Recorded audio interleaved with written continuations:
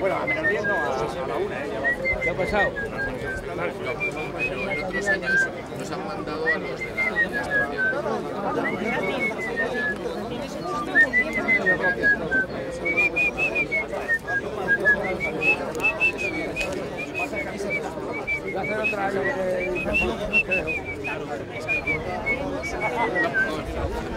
Bueno, un año más nos hemos concentrado aquí, ya es el onceavo año que, que nos, nos, ponemos aquí, en nos concentramos en la, en, eh, frente al Valle de Cuelgamuros para protestar y para exigir a las fuerzas políticas que de una vez, después de 42 años de la muerte del dictador, esto se revierta en algo eh, que no sea un homenaje para los fascistas, sino un homenaje para todos aquellos republicanos que dieron la vida eh, construyéndolo. ¿no?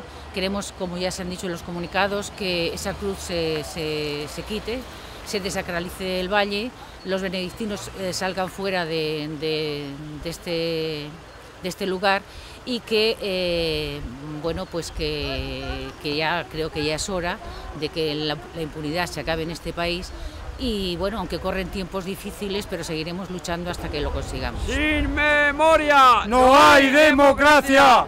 sin memoria no hay democracia. conmemoramos 42 años de ignominia porque los restos del dictador siguen descansando plácidamente en el mausoleo diseñado por él mismo, financiado por todos los españoles, rodeado de honores y de miles de republicanos que fueron primero asesinados y cuyos restos fueron robados y trasladados al valle a mayor gloria de su asesino.